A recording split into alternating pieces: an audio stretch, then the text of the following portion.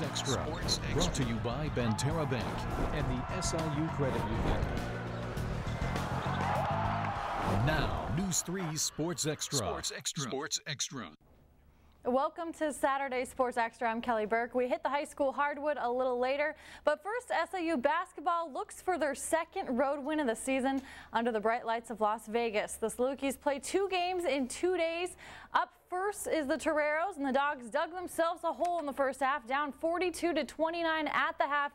SIU was in foul trouble early and allowed San Diego to shoot 67%. But the Salukis come back in dramatic fashion late in this game, down by 10 with three minutes to go. Carlton Fay hits two free throws to seal the 70 to 68 win. Justin Bocot finished the game with 22 points. Well, elsewhere in the MVC, Indiana State edges Toledo while Drake falls at Iowa. Let's take you to some more MVC scores. Illinois State scores a 10-point win over Utah, and Creighton comes up short against New Mexico. Missouri State still undefeated with a 10-point win over SLU, and Northern Iowa a big winner over North Dakota. And Wichita State upsets Texas Tech today, while Evansville a big winner over UT Martin. Meanwhile, at the arena tonight, the Saluki women return to action against Murray State. SIU still looking for their first win. First half action, Katarina Garcia. A little spin action and drains the J for an 8-5 lead. Then the Salukis in transition. Stephanie Neptune finding Christine Presswood for the 13-5 lead. But Murray State coming back. Kayla Nance drains the tray to cut it to 1, 13 to 12. And late in the half, SIU needing a spark. Neptune bringing up the ball, stopping and popping right here. She had 28 rebounds in this game. SIU trailed by four at the half. Salukis lead right now 74-71 late in overtime. Well, more college basketball. John Calipari could break the record for best start by a first-year head coach with Kentucky's 11th straight win.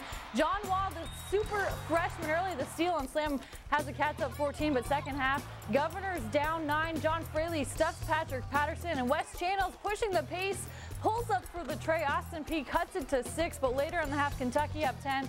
Wall back in the game after a brief knee injury. The freshman taking it coast to coast. Wildcats starting to pull away. And then Patterson for the Monster Jam is Kentucky 11-0 with a 90 69 win. And the Illini hit the road to Georgia. Bruce Weber squad has won four straight games. Second half action. Travis Leslie inside for the finish and the foul. Georgia up nine in this game, but they call them the Fighting Illini for a reason. Mike Tisdale, the rejection, the steal, and gets it ahead to Demetri McCamey for the hoop and the harm. Illinois goes up 67-64. But Trey Thompkins was clutch late at the line for Georgia. Four straight free throws for a three-point lead. And one last chance for Illinois. McCamey's three-point try off the mark as Illinois falls 70 to 67.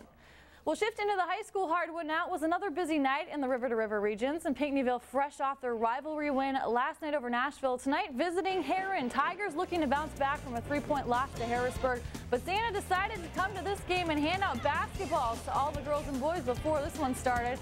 Now we start the game though with Herrin's DeMarlo Harris, the hoop and the harm inside. Then on the other side of the court, Pinckneyville's Drew Dudek off the rim, but rebounded by teammate Kyle Lamb for the deuce and the abuse. Later, Tiger player Alex Brown off the glass, going to give Herrin a three-point lead. Harris again with a fight to the basket, followed by Panthers Nathan Morden with his own fight to the hoop. And Pinckneyville going to win this game 58 to 47. Well, other river-to-river scores from tonight, AJ a 16-point winner over Massac County, while Chester takes down Herculaneum of Missouri. Harrisburg 53 to 49 over West Frankfort and Nashville all over Benton tonight 66 to 32.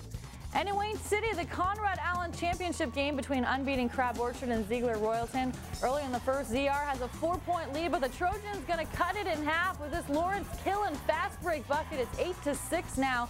And a couple of plays later, the Tornadoes capitalize off the Trojan miss with a fast break of their own as Tyler Mitchell stretches ZR's lead to six. But the Trojans battled here. Adam Perry cleaning up the Ben Kissing miss and converts for the deuce and the damage. Trojans within four. Then with time winding down in the first, Dylan Hudson puts up the three ball. And even though it was 8 at night, the bank was still open. Crab Orchard holds on to win, stays undefeated 14-0. 63 to 59 the final there.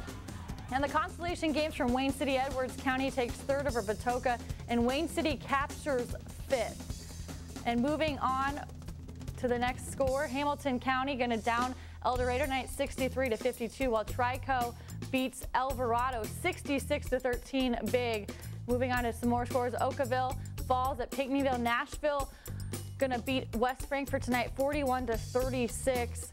And one more girl score for you. It's Elder El Dorado 49 to 42 over Johnston City. Well, SIU's football season has been finished for a couple weeks after a quarterfinal loss to William & Mary. Tomorrow, tune in for one last look at the highlights of the Saluki season, and there were a lot of them. We'll recap the second season and sit down with the Dogs' 24 departing seniors to get some of their greatest memories and thoughts on their Saluki careers and catch Darren and Dale tomorrow at 11 a.m. right here on Channel 3. Until then, that's going to wrap up Saturday Sports Extra. I'll see you back here tomorrow at 5. We leave you now with some sounds of the season. The Carterville Junior High School Choir singing Biddy Bomb. Have a good night.